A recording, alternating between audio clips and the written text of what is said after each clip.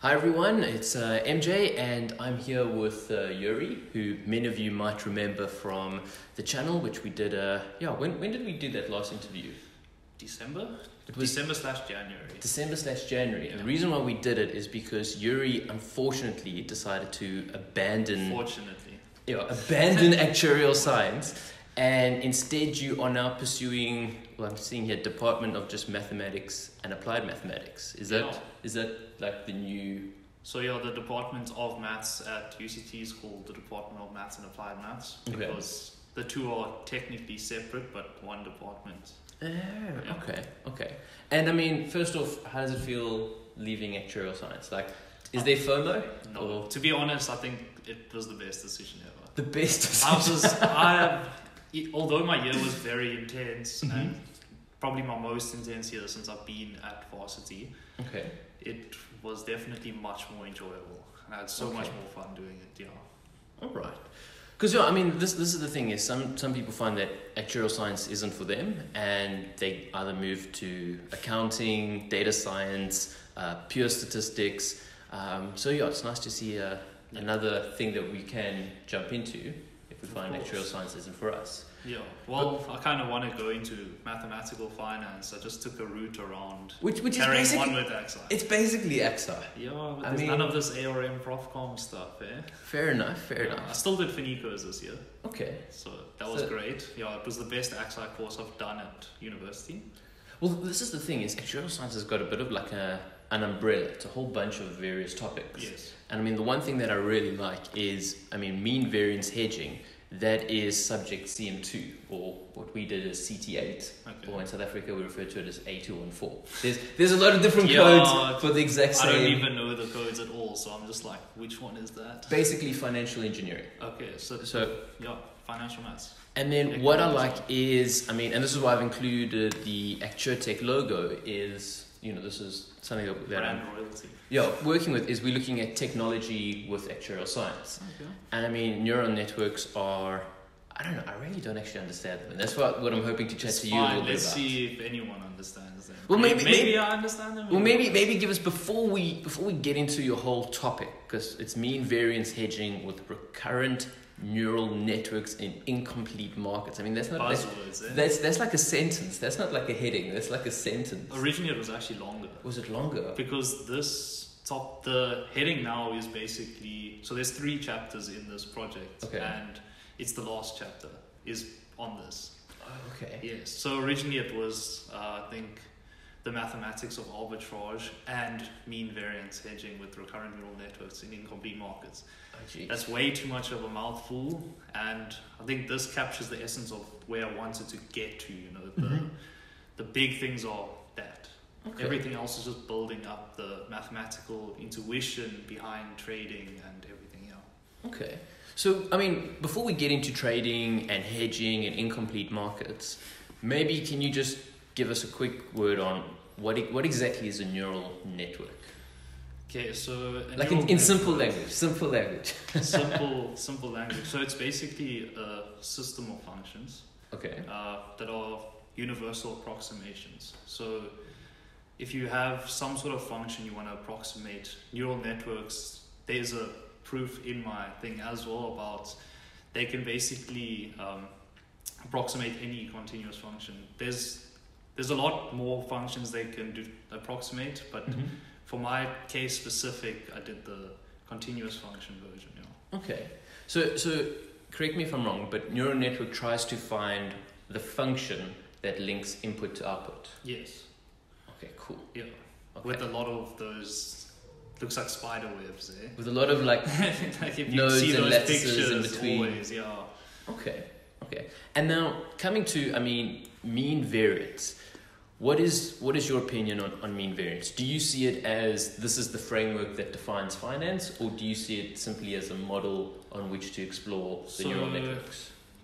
For this case specific, I just needed some sort of model. Mhm. Um, so the code is actually written in a more general way so that we can add different cost functions at the end. Okay. So a lot of papers have been written on mean variance hedging, which has a lot of criticized criticisms Mm-hmm.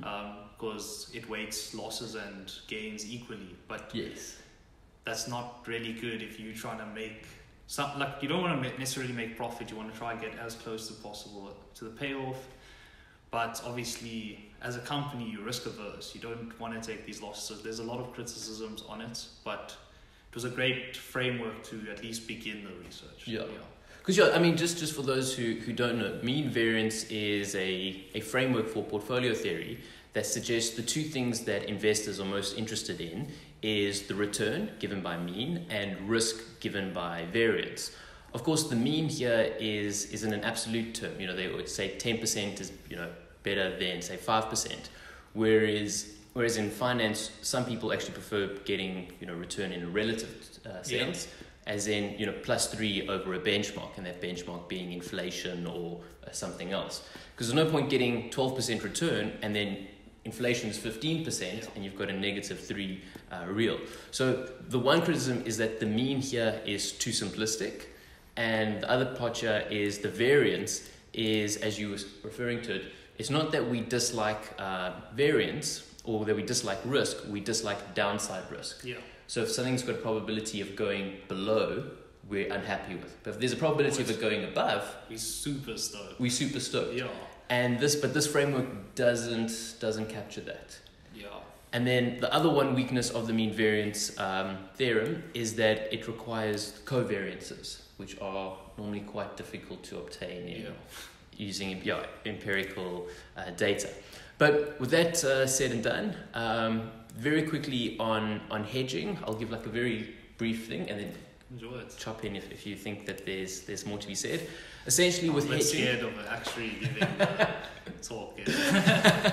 Doro, you you're gonna come in and explain what this thing is. Um, but no, yeah, so, so so hedging. I think a nice example is let's say you you sell a, a call option, which means you collect a premium and you give somebody the right but not the obligation to purchase a stock at a certain price. Yeah. Hedging is when you try and cover that position. Yes. And there is something called the covered position where you physically buy the stock, but if price goes down, Then You you, have- don't, you don't hit that zero mark. Exactly. And then there's also something known as the naked strategy, which is where you don't do anything and you just assume that additional risk and try and profit from it. Um, and then there's the stop loss where you try and buy and sell according to strike price. And then you can also do something like delta hedging and all of that. So I want to ask just very quickly, what what type of hedging are we talking about? Delta hedging here, Um, as in like hedging referring just to the price, how the price changes. yeah, so it's more, but remember, so neural networks are quite black box, Mhm. but we did compare it to uh, Delta Hedge Black Scholes. Okay. So that's at least the comparison, but the neural network itself is a little bit black box. Oh, so it will it will determine what it, it should hedge and what it shouldn't Yeah, hedge. it should, it buys and sells, and you can get a stock Ah, okay. price movement and see how it's actually performing and stuff. Unfortunately, I didn't put it in this actual thesis, but maybe we'll add some pictures or something afterwards. Okay. No, yeah, we can do some little editing. Yeah, so I'll send you some photos Okay. To put in. And then finally, as you can see, it's a it's a big heading. Um, incomplete markets. Does this mean that you're not assuming that the market is efficient or, or strong form Uh, efficient? So it's not. It's not, it's not- really those. Um, so we'll characterize uh, something. So there's two fundamental theorems of asset pricing. hmm Uh, the first one says that under no arbitrage, an equivalent martingale measure exists. Okay. And then uh, in incomplete markets, well, let's just start with a complete market is such that every bounded claim is attainable. So you Okay. can trade to get your payoff perfectly replicating it. But obviously, that's not very realistic. In real Mhm. life, you have no idea what the hell's going on. And so that's incomplete markets. Not every, bu- not every claim is attainable. Okay. So, how do we minimize our risks? Okay. Okay. Cool. Well, then let's let's jump into straight this big thing over here. Um, first of all, yeah, can you explain what this formula is in words? So they call this a discrete uh, stochastic integral. but Okay. let's go with simplistic words. So the thing on the side, obviously, that's just notation, and the thing on the right, basically uh, phi over there. This little guy. Ooh, Yeah. yeah. Uh, that phi represents uh, your position held in the stock. Mhm. So let's say you hold two units, and then the xk and xk minus one is the stock movement. So at x, the Uh, price okay. at xk minus one and xk. So you hold a stock, and if it goes up, then you're making that gain. So this stochastic integral represents your gains from trading, Okay. Yeah. The, basically, the area under the little curve, something like that. something yeah. like that. Except now it's discrete time, so it jumps. Yeah. Uh, okay. Okay. So, and I see, yeah, you've done it now on September the fifteenth. So you've just handed this thing in. Yeah, it was it was due last week Monday. Tell me, What quick, a push. how how many hours did you put into this? Um, in the beginning, it was actually relatively easy to like formalize the maths behind trading and stuff. When I started the code, Mm-hmm.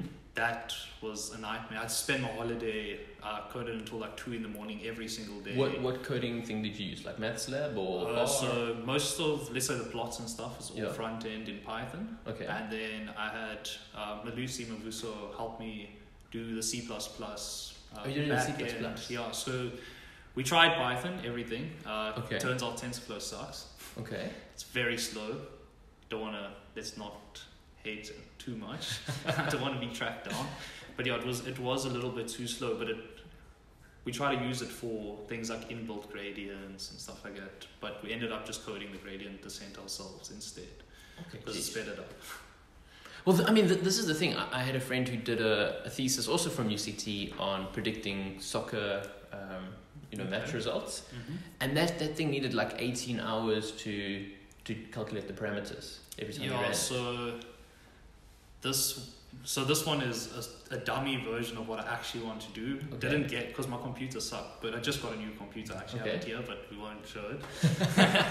but yeah, I just got my new laptop, and I'm hoping to rerun my code at a more high level and see Why don't you use a, a cloud? Uh, yeah, well, probably as well. But I want to add all the bonuses: faster laptop, cloud. Cloud. Just okay. let's just yeah, it's nice to test at least when I'm doing my tests to make Mhm. sure the code's running fine. I'm not going to use a cloud to test my code. Fair. So at least that speeds up my like testing procedures, make sure everything's going right. But yeah, a lot I, we ran into a lot of errors, my mistakes, big mistakes. Uh, yeah, so like I ran my code for like two days waiting for my results, and they came back just nans, errors, Mm. errors, errors, errors. And that was that was your your bad programming. It was me. Um, That's so good. You take responsibility. I did take responsibility, but it's also like when you think of the exponential distribution, right? Mm-hmm. What is a more natural parameter, scale or rate? Your guess is as good as mine. Okay, so thinking about like arrival times, a rate would be great, right? Yeah. So that's more natural, right? So the mistake that I made, so I used the inbuilt NumPy uh, exponential distribution thing, and they take in a scale parameter, and that so it was it's the opposite way around. It's one over, yeah. Yes. So the jumps occur too much, and I mean that it just felt natural to me. But may, I should have maybe read the documentation a little bit better. So, but So we, we call this model error. We call this modeling error. Yeah, it was it was bad. Just apply. Okay. Yeah, Well, let's let's jump into. Think yeah, we don't need to go through Yeah, the little plagiarism thingy. Um, talk to me about this. Is this important for the discussion? Because I know you said there's some boring maths in the beginning that we can. maybe- it's not boring. but I'm just saying for maybe your community, they might not enjoy too much maths. Um, I mean, yeah, so it's it's important. It's just a it's just an overview, but I, I think we've spoken about it already. Like I formalized some the idea of stocks. Mhm. Uh, then we have the expected square replication we're trying to minimize, Okay. the mean variance, and then just the the two neural networks running concurrently. is this is this the neural network? Yes. So, it's, so a lot of times I th- see people use um, about n plus one neural Mhm. networks for each trade. Like Yeah. each strategy has its own neural network. Uh, so what we did is we have this C parameter here that's con- at like it's the memory cell. It holds some memory. So um, I believe like so Markov Markovian processes just need a small dimension of a memory cell Okay. and something with that you need more um, memory for you can increase the size of the memory cell so something like that could t- you know, like good models, mean reversion, uh, momentum, stuff like that. So something like a memory cell could supersede that Okay. idea, yeah. And then the other neural network is just to predict the trading strategy, what position you should hold in the stock. Okay. Okay. Yeah. So I mean, coming coming to that, what you're talking about there, the Markov, because the Markov property is that the only information I need in order to predict the future is the present. Yes, The fact that the entire past or the entire history is contained in the present. pretty much. Now, is this memory cell saying that's not necessarily the case? So no, no. So if something's Markovian, you Yeah. don't need a big dimension, a memory source. You don't need to hold a lot of information. Okay. So then it just takes relevant information of like the now or like you know as Mhm. small increments as possible. But if you have some sort of process that has you need a lot of information from the past data, then you can increase the size of this memory cell Okay. and holds more information. Yeah. And and is there? I mean, I'm just trying to think. What what examples of other information would you maybe hold, like the price the day before, or So it, it depends how f- overboard you want to go. okay, Uh, some stock, maybe let's say you're trying to hedge something on wheat farms or something. Maybe it can keep into account the weather. oh okay, Yeah, some uh, not always, but I mean that's quite an interesting thing to think about. Yeah. okay. That that opens up quite a lot of modeling possibilities. Yeah. So Okay, nice thing about neural networks, they're actually pretty flexible. they're pretty flexible. Okay, not too bad. Um, anything else you want to talk about over here?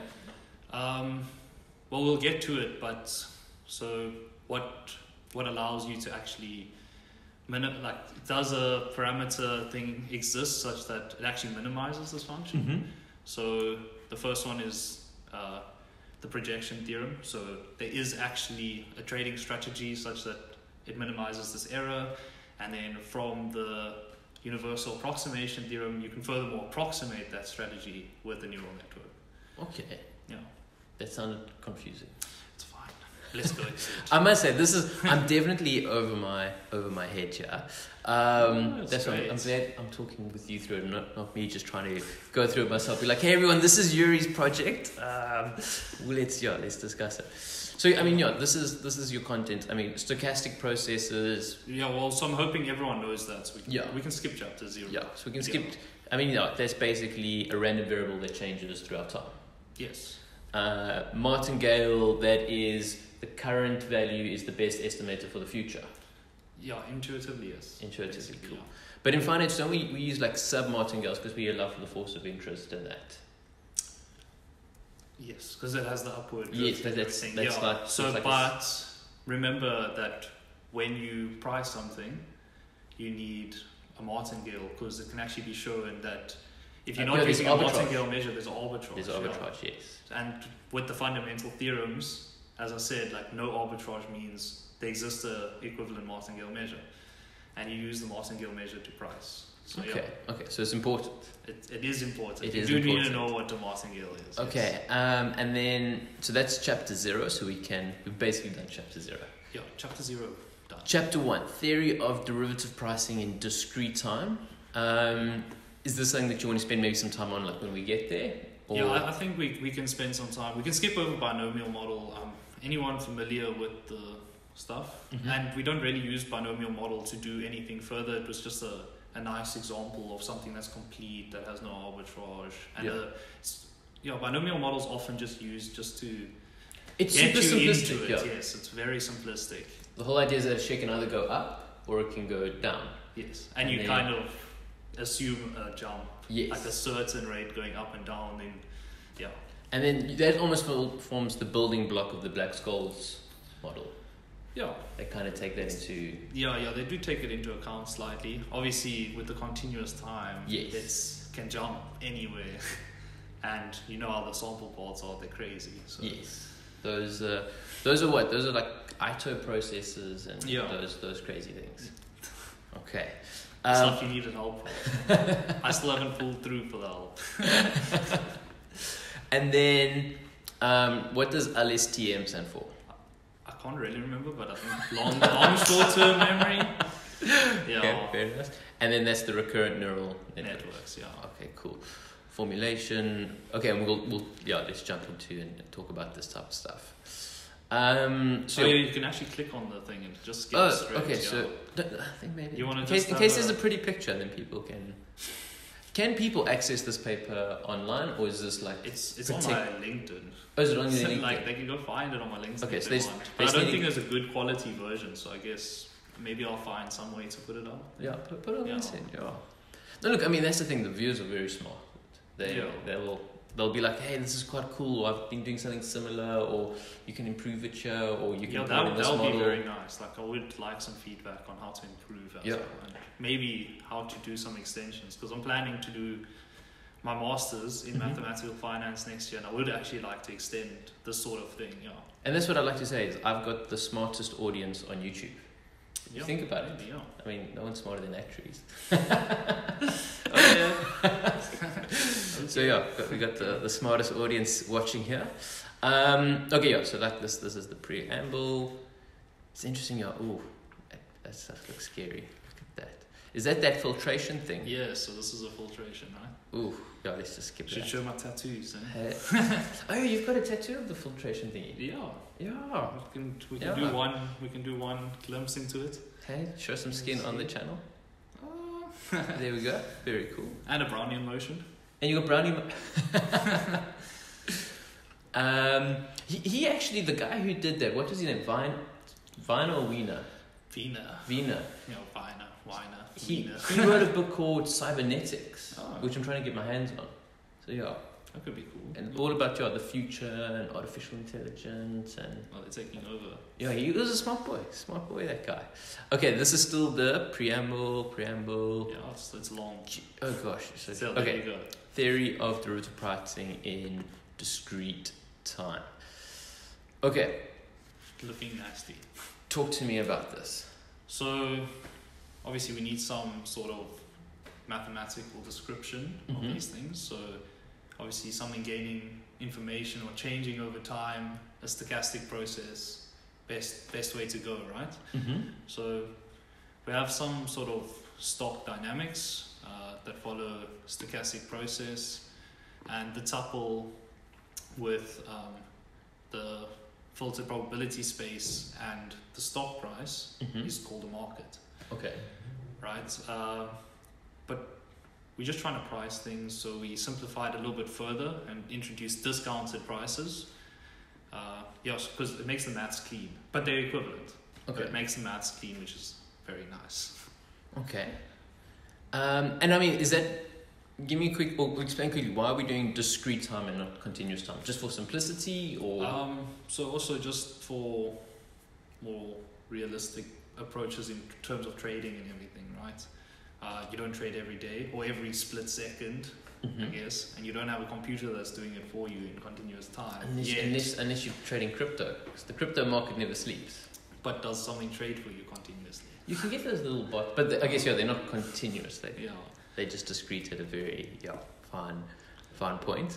Um, okay, keep keep talking, Okay, so here we have a, an idea of a trading strategy, right? As we spoke about earlier, it's just the amount you hold at a certain time up Mhm. until the next time. Those are predictable.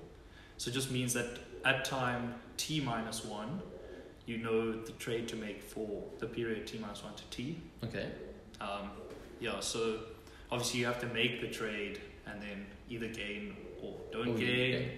And what you're trying to do is obviously hedge a specific payoff that only happens at the end in And- our case. And tell me, with with this trading, are you also taking in consideration fees, trading fees? um, no, but we were we want to extend it a little bit. We're gonna Okay. some maybe fees, certain things like that. We did take into account maybe like public holidays, but that's just you know you take off the amount of trading days. So that was an easy. Easy, Fix, yeah. easy one to account for. Yeah. Okay. But yeah, we we want to extend it, maybe take into account fees, but it's not very optimal to compare something like that to the Black Scholes model Oh, because that also doesn't take. Yeah, with fees. Yeah, if you account any fees or any jumps, Black Scholes just can't keep up, which is a problem for Yeah. this big formula that everyone seems to be using. Well, that's the thing is, I mean, yeah, despite it all its criticisms, it's still, still like the main It's, thing used. it's popular, yeah. Yeah. I've heard there were there were a lot of mistakes in the first paper that was written about it, but you know how life works. If you're the first one to get something out, Well, the, the best example is the fact that uh, Merton and Scholes uh, joined that hedge fund long term capital management and stuffed up big time. Big time. I mean, they were going well, and then what's They- that one in a million hap occurrences? just lost everything. there was, yeah, the Thai currency got devalued, the Russian bonds defaulted, and they basically got wiped out. Yeah, Because they kind of thought, oh, the market's not, uh, there's like diversification, you know? Yeah. And then they didn't realize panic spreads throughout the whole market and destroyed them. Um, and that's why there's potential. Yours could maybe take them on in the Oh, future. We'll see, eh? Okay? Let's see. Hopefully, hopefully I can do something big. then people of the future will be learning, you know, The the Robbertze model. yeah, Robbertze slash Jordan model. Because you know, I would have, I would have added in my Don't think, don't think so. my, my two cents. Maybe we can work on something else. Okay, so talk to me. What's what's happening here? Uh, this is just for assumptions coming up. Uh, we need Mhm. some sort sort of bound on the trading strategy. Also, just logically, you can't borrow uh, infinite amounts, right? A lot of people just assume you can. Mm-hmm. So it's just uh, also just makes the maths clean. Also, it's just intuitive. Can't Okay. bound or like can't borrow infinite amounts of money, right? Yeah. Yeah. So this is just bounding the trading strategy. All right. Um, yeah, and that final bound is just like right on the bottom of the paper. That's just my assumption to make my proofs easier. Explain what you mean by that. Is this just kind of So the usual one that they use is the finite credit line, where you just can't borrow an infinite amount of money. yeah? Uh, for mine, to make my proofs work, I bounded the whole trading strategy. by what? So what is so there's just there's just a bound on the trading strategy. There's a finite amount that you can either borrow or Is that just to make the computational easier, like so the model runs quicker, or Uh, so in the actual neural network and stuff, that's not necessarily. It's just for the proofs of existence and Proofs stuff like this. Yeah. okay, okay. Um, arbitrage. Arbitrage is basically the idea of making a risk-free profit, Yes. or, or having the probability of making profit in a risk-free Yeah. So it's you start with nothing. yes. Uh, there's a chance of making a gain, and then the probability of making a positive gain so is uh, is greater than zero. Yes. Yeah. Okay. And you are saying here in the section we self-financing. Um, talk to me about the stuff. What's happening here? Well, this is just a nice baby example, just to get everyone into this idea of an arbitrage, right? Okay, so you're just giving a, Yeah. a just little a example. two, a two stock example there. Warming. Okay, so can we skip that? Yeah, we can skip that. Uh, we can probably skip a lot of this. Let's not talk about too much maths. Let's go to the definition of a. Super replicable. That's pretty cool. Let's go. Okay. The, uh, the probability measure. Probability measure. So we need this idea of an equivalent martingale measure. So Okay. something that makes the stocks dynamic a martingale. Because as we said earlier, if you can't find such a uh, measure, you can actually find an arbitrage. So Mhm. you can make risk-free profit. Yeah. So that leads us, if you like scroll maybe like two more pages, Two, oh, geez, is all of there's this. just maths, maths. Oh, yeah, check all the little lemmas. Yeah, so here it comes. Fundamental theorem of asset pricing one. So under no arbitrage opportunities, Okay. they exist an equivalent martingale measure. So yeah. Okay, and then you give this whole proof. yeah. Did you come up with this proof yourself? No. Oh. I read a bunch of papers. Okay. But I'm, I'm I'm learning a lot. It's very interesting. It's Okay. great. I mean, yeah, that just looks. Yeah, it's a bit messy. yeah. Like I wish I could come up with something like that all by myself. Maybe in the future. Like I am getting into it. I did come up with some proofs myself in this paper. Yeah. Like I said, you combine it with the Jordan model, and. I, I can be your, your proof guy. Okay, definitely. Well, I yeah. have to make coffee while you try to figure out the proofs. Yeah, but don't you know that's the they call that like the math. They say mathematicians are machines. Oh, yeah. We take in coffee and we output proofs. There we go. Yeah, So I can be the your fuel stop. yeah, exactly. I got, I got good coffee. Um, okay, pricing and replication. Um, anything here that's worth chatting about? So it's just a so a replicating strategy. Okay, right? So it's something that replicates a fail, right? So Mhm. That's essentially what Eugene's trying to do. Hey. yeah, so that's it's just getting that whole notion of what we you know, we're building up to this uh, hedging, trying to minimize your risk, you know, hedge Mhm. like perfect replication. And this is also introducing that notion of a complete market, which is coming just now. So, in that, the complete market is one where every bounded claim is attainable. So, that means that a replicating strategy exists Mhm. for each bounded claim. Obviously, not in real life, so incomplete markets. Incomplete markets. Okay. Yeah. Um, you got some definitions. I see you got another example. Yeah, we gotta we gotta keep it going. Examples are nice. They take up So lots this, of this space. one this one is uh, introducing the notion of what happens uh, if you do have an incomplete market. So turns out when you have an incomplete market, your set of equivalent martingale measures is infinite dimension. So there's infinitely many equivalent martingale measures, and then your no arbitrage price is actually an interval Okay. and not one value, which a lot of courses and notes and textbooks assume that you know the law of one price. so But wait, there's wait. no such thing as the law of one price. So- okay. And so how does that then influence your your paper? So we're going to be working in an incomplete market where there's some sort of band of prices. Okay. Uh, won't be talking about the bands, but but yeah. So there's there's no unique price. So there's no uh, replicating strategy. But how how do you hedge in that sense, or how do you price something in that sense when there's this interval that you can actually get no arbitrage prices? yeah. Yeah. So obviously So it's going to add to the complexity. Yeah, so with the with this interval, right? If you if you're the seller, you want to sell as high as possible. But if you're the buyer, you want to buy as low as possible. Well, where's the middle ground? Mm-hmm. Yeah, so something like that. Okay. Okay.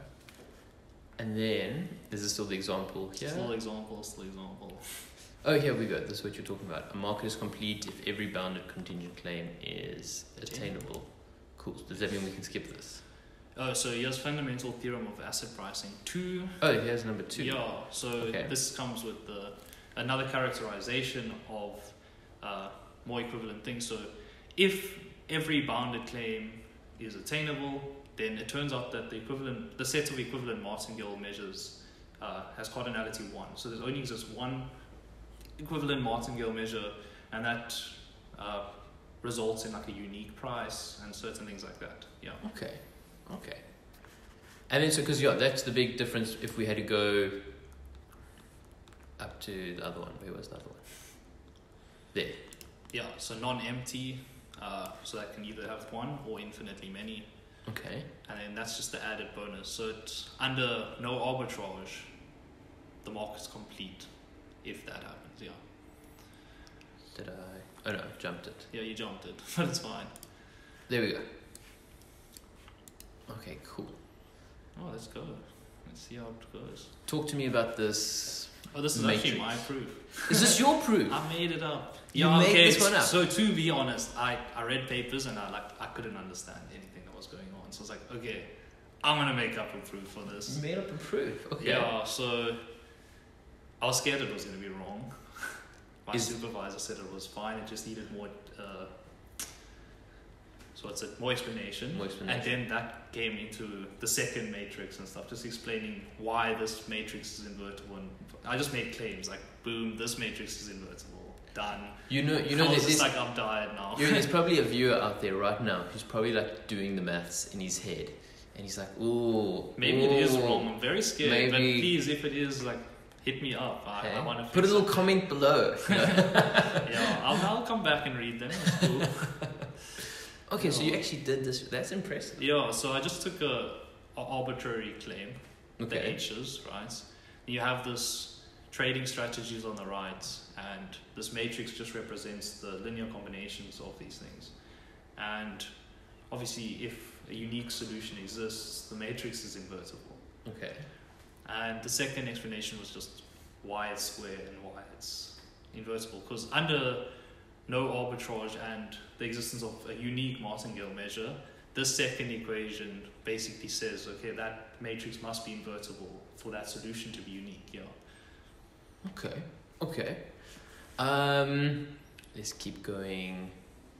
Going down here, we got the binomial. Yeah. Everyone's wet dream. Should we skip it? Because I do. I am looking at the time. We've got. Yeah, we've we got, we've got the Formula it. One soon. Yeah, let's go. We've- Let's we've- go watch Formula. We've got the Formula One soon. I say what? Should we do this as a part one and a part two video?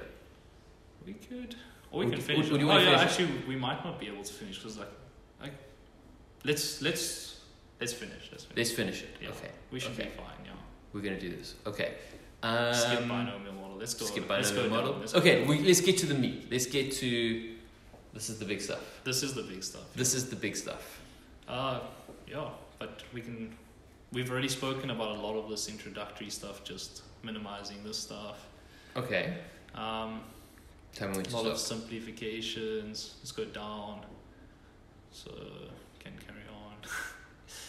There's a lot of the the meat. Oh, so so here's one thing uh, that I was talking about earlier, just whether a trading strategy actually exists that minimizes this. So we use this theorem from uh, an analysis course. So obviously, so this is the projection theorem. So This looks uh, scary. it's not too bad. I learned Okay. this last year already, so it, it's not too bad. Okay. So yeah, it's just basically saying that under this um, scalar product that you have with basically that squared expectation thing, um, a projection exists onto this closed subspace, which is the attainable claims. So that's the thing that minimizes the distance between a replicable um, uh, hedge and something that's not. So you're just trying to minimize that error. And then if we go further down, Uniqueness of V. Yeah, well, let's carry on. Keep Let's going go. down. Yeah, we're going to talk about the universal approximation theorem. Let's skip, skip. Still far. It's not too bad. Come on. That, that's scary. You know when, when you see like little weird things above capital letters and well, there's only so much notation you can use. You I have know to just get them you, going. you start know. getting creative. So let's see. You can carry on. Carry on. Yeah, I mean, some this- examples of activation. I mean, this this is like first year exercise. You know, everyone should should yeah, get this. everyone should be fine. Ooh, okay. okay, yeah. On the next page, it starts. Just at the start of the page there. Sorry, my mouse is like you can see it. This Yeah, just the PDF is giving my computer this little rainbow. So wheel. the universal approximation theorems for neural networks. This is basically just saying, can we approximate that trading strategy that now we've shown exists? okay. Um, so and spoiler alert, we can. we can. We, We can? Yes, Okay, we cool. can. Okay. Unfortunately, I couldn't, but Oh, you- only with my bad computer. But I c you can in theory. Okay. Um, yeah, so it's basically just saying that neural networks are dense in the space of continuous functions. So, what? so dense just means that the closure of that space is equal to the continuous function. So it, it means that if you choose a continuous function, yeah. you can find with arbitrary con- uh, precision a neural network that approximates it. So you can get as close as possible to this continuous function using a neural network. Okay. I'm gonna pretend I understood that. We've got this, man. This is this is. I, I feel like yo, my brain is getting like worked overtime.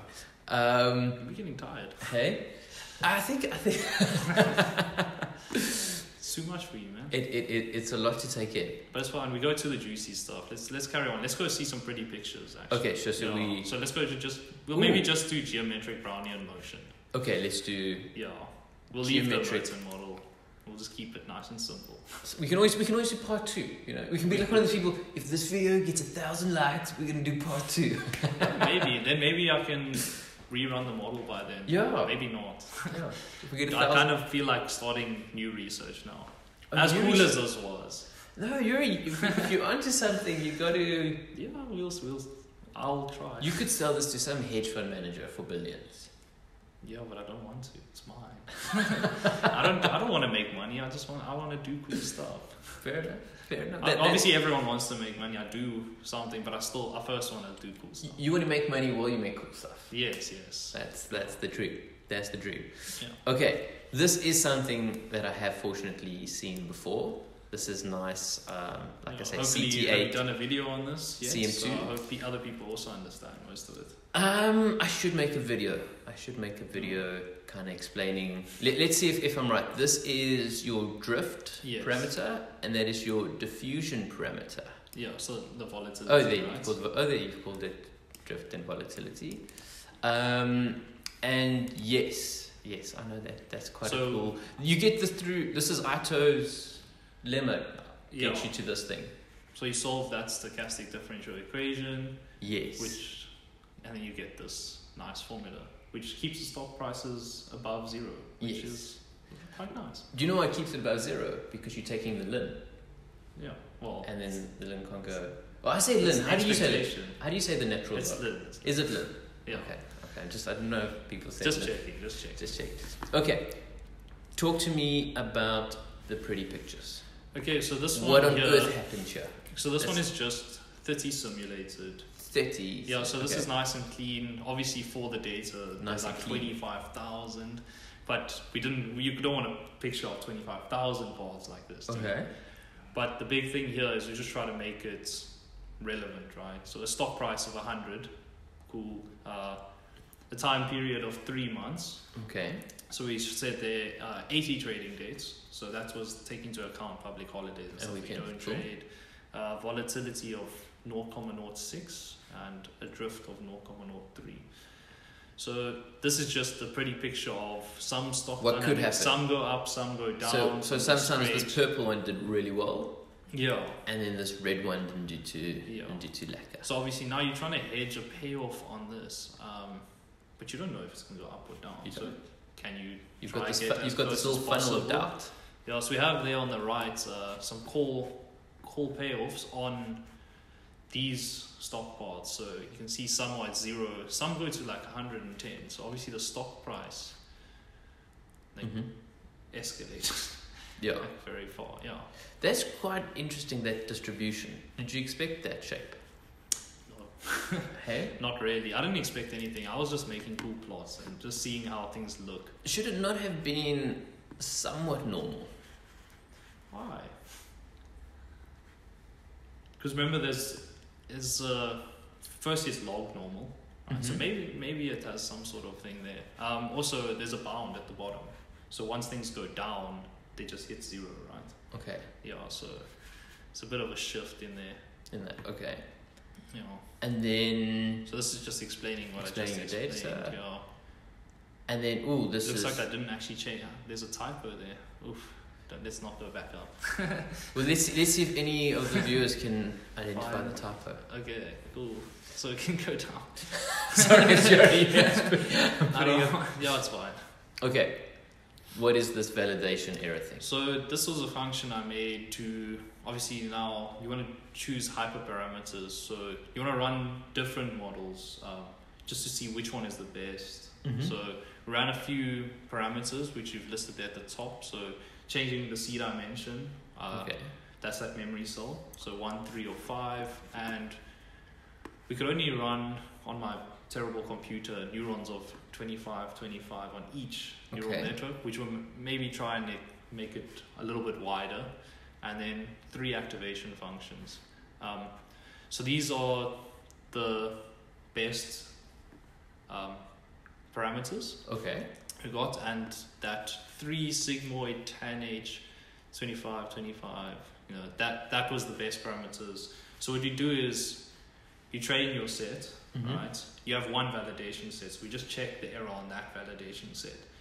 It then checked all of these parameters plotted the middle one and passes those the best parameters through to another training session after it's checked that. Um, and then it trains it some more. Okay. so that's how I built this uh, system here going. Obviously, you don't want to see the parameters, then come back, then rerun it on the best parameters. So just had this continuous flow, checked it, plotted it, passed those best parameters through to the next one, and then trained it some more. Okay, that's Yeah. quite clever. Yeah, it was quite. little time saver that. Yeah, well, it still runs for like two days, but time saver. Eh? Okay, and then talk to me about what's happening here. Does, So that, does that mean the Black-Scholes did a better job? The Black-Scholes did do a better job. bigger job. Ah, So oh, you oh, my bad computer. Just let's let's see, let's see. Okay. I'll I'll try rerun it sometime and then we'll see. I just have a lot of things coming up. But I'm hoping, I'm like hoping to beat it. Just couldn't do it here. Couldn't. But the Time pressure is a bit shit. But this is the thing. It it beats it for so it it doesn't beat it for this one. oh yeah. but it does beat it for Merton. Limited. Yeah, so we didn't beat it on geometric Brownian motion. So thing is, Black-Scholes is derived from this notion of the stocks following a geometric Brownian motion. So it also knows the exact parameters. Mm-hmm. But in theory, we could maybe beat it because of this discrete timeness, right? So now Black-Scholes is a perfect hedge in continuous time, but in discrete time, you can see it actually has a distribution around zero. It's not it's not perfect. Okay. If it was perfect, then the, that pink bar would just, Just be. be at zero down. Okay. Boom. Yeah. So this is profit and loss. So you, yours makes quite a lot of loss. Yeah, just terrible. but it was a badly trained model. It's, it's, it's But it's more about the theory. Yeah, it's about the theory It's and about about, can it actually do it? Can it trade? Yeah. And it actually did trade. Yeah, I mean, it it- did. it and it's not that's not too bad It's for something I didn't train that. Yeah. Yeah. Yeah, that's actually pretty good. But like I said, the Formula One's coming up. Yeah. Well, we can actually just end it. We don't So- need to talk about this, do we? We don't need to talk about the Mertens, No, And all so these it's other basically things. the exact same thing, just a different just, uh, distribution. yeah, and a you different graph. and you beat it this time. Yes, and Okay. we beat it that time. Okay, so Maybe just the extensions. Just a quick talk what to we me. actually want. Talk to me very quickly about the extensions. So yeah, so in the actual project, um, obviously we only did a call option, and it was European. So the payoffs at the end, and it has the same sort of structure. But you can obviously extend this to different types of options. So we want to do that. So big thing was American and Bermuda options. Can we Ooh. change the neural network to exercise early? Tell us quickly what. So American, you can exercise anytime before the expiry date. European, you can only do it on the date. Bermuda is basically in between European and American. Okay. So what it is is that you can only trade on specific dates. So uh, let's say maybe every three days or something. So yeah, that's, so you that's can't trade any time before the thing. It has these jumps. So in those three days, the stock price could plummet and come back up. Oh, yes. But you so you can only trade on those dates. So Uh, okay. So, adds that little bit. so you want to get it for? I mean, but there's. I mean, there's like Russian, there's Asian, there's all various Oh, different yeah, types so- of options. Asian everything. And so you want to get the model so that it it can do all of these. Yeah. Okay. Talk to me about these other two extensions here Okay. So applications. Uh, I only provided for hedging. hedging. Okay. Um, but there are other applications in the financial indus- industry like forecasting, filtering, and trading. This one's an interesting one. So how many, how much profit can you? Yeah, why don't you make it about this? Do you know how we would have got like a million views if you'd made it about trading? Yeah. Because you know what people don't like hedging? Hedging just means less money if you're right. Yeah. Pretty much. Like you do want to make a profit. Yeah. So I haven't, but I haven't done any of these extensions yet. So Okay. we'll see how it goes. But they there are these applications and there are there is some code. What? Why would you want to do it for filtering? What's the whole What's the whole point of doing that? I was just thinking about the other things. Um, so finding the true underlying stock pattern, Oh, which is pretty much, I guess, for forecasting and trading, it's like a middle ground. Yes. So can you get this true pattern of the stocks instead of this disgusting view of everything, long term trends, things like that. Yeah, Okay, that could actually be very interesting then. yeah. Okay. And then finally, talk to me about this last extension. Yeah. Uh, so this is just obviously we only did um, Monte Carlo simulation, so we Mhm. compared the stuff to the black. I mean, so geometric Brownian motion and the Merton model, uh, but can we train it on these two models and actually trade stocks? Obviously, I'm not going to go out and go destroy the market now. I'll, I'll give you 200 bucks to, to look behind this model. Yeah. yeah, maybe that could be interesting. Just don't cry when I lose it. But Okay. yeah, just want to see how it performs on real data after. Yeah. Perform real. And then actually just got, got one one last question. We've got five minutes until the Grand Prix starts. Um, one last question. Of everyone that you read in your thingamajig here, I like how you're referencing yourself. That's pretty cool. Um, What was an interesting project? who who? Oh, is that Mario? Yeah, just a quick basic. Quick little thing there on, on Mario. Fantastic. Where's your stuff? Maybe Yeah, where's where's my stuff? You didn't you didn't reference. I've got one one article out and it's got one citation only. So you need to you need to cite it, get get that little thing up. But anyway, coming back to the question, of all the people you read, who would you recommend was worth reading more of just their work? Like you saw this person, you're like, wow, this guy's like a genius. Okay, so in terms of uh, trading and financial maths and Yes. everything, uh, Martin Schweizer, number 12. Number 12, Martin Schweizer. Yeah, so he's, he's pretty good at the stuff. And Shiryaev in general, um, so things about probability theory, finance, and stuff like that. I Yeah, think I got a textbook by this guy. Yeah, yeah, yeah he he's wrote- great. yeah. I was just thinking, I know that. And then biggest inspiration is uh, Malusi Mavuso, six, seven, and eight, just different things. So he was my lecturer and my supervisor. okay, Yeah. okay, so worth checking those guys out.